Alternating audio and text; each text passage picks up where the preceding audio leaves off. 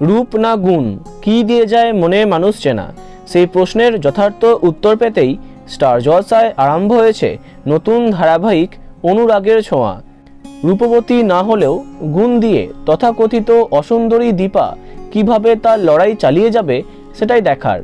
ধারাবাহিকের নায়ক সূর্য তাকে খুব শীঘ্রই পছন্দ করে বসবে, তার গুণের কদর করবে। কিন্তু বাকিরা কতদিনে এবং কীভাবে তাকে আপন করে নেবে সেটা দেখা যাবে আগামী পর্বগুলিতে। ধারাবাহিকের প্রধান চরিত্র দীপা। এই চরিত্রে যিনি আছেন, তার নাম স্বস্তিকা ঘোষ। এখনও খুব একটা পরিচিত নন তিনি। তবে তিনি যে নতুন অভিনেত্রী, তা কিন্তু একেবারেই নয়। এর আগে দত্ত অ্যান্ড বৌমা এবং সরস্বতীর প্রেম ধারাবাহিকে পার্শ্ব চরিত্রে তাকে দেখা গেছে।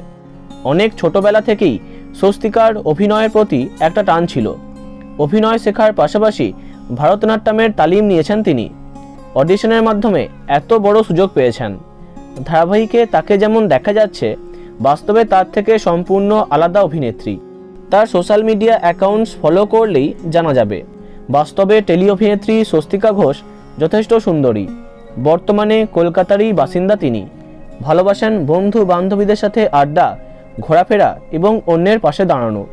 সম্প্রতি সামনে আসা একটি সাক্ষাৎকারে এমনই অনেক কথা উঠে এলো। তো বন্ধুরা কেমন লাগছে দীপাকে? কমেন্টে জানাতে পারো। ভিডিওটি লাইক এবং শেয়ার করো। আর এই টাইপের ইন্টারেস্টিং ভিডিওস পেতে সাবস্ক্রাইব করো কারেন্ট বস। আর পাশে থাকা বেল আইকনে ক্লিক করতে ভুলো না।